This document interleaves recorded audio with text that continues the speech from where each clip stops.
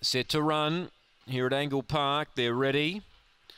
Racing, speed here, power bank in the middle. D-Gas holding its own as well. Rally through and led. Now driving hard, buddies me boys after D-Gas. Third then Molly Palms, who's getting underneath the pair of them now. Then Webleck Breeze, uh, Hayride Row Bottom, Power Bank. Well back was Gaza and Stella Lad up the straight. Webleck Breeze in front, diving Molly Palms. But Webleck Breeze from Molly Palms and third, I'm not sure.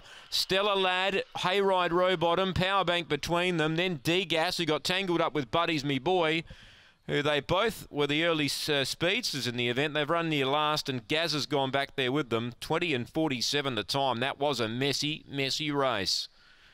Seven the winner, Webleck Breeze. She got all the luck today. Those two leaders collided, ran off. Webleck Breeze hit the lead. Molly Palms came at her late, but the seven defeats the eight.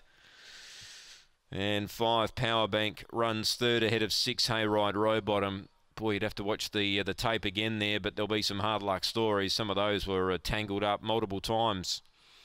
Seven, eight, five, and six. It looked that sort of race on paper that anything could win. Buddies, me boy, was driving hard the rail down the back and went underneath of D gas. And then by the time I got back to them again, they had tangled up and they'd both dropped out of it and necked the winning margin.